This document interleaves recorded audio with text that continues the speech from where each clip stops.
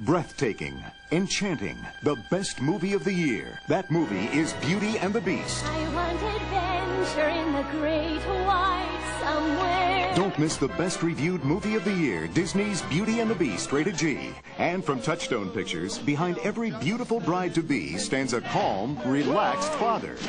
A father who's just not ready to let his daughter go. Good, I'll just. Uh... Steve Martin, father of the bride, rated PG, and Beauty and the Beast, each playing separately.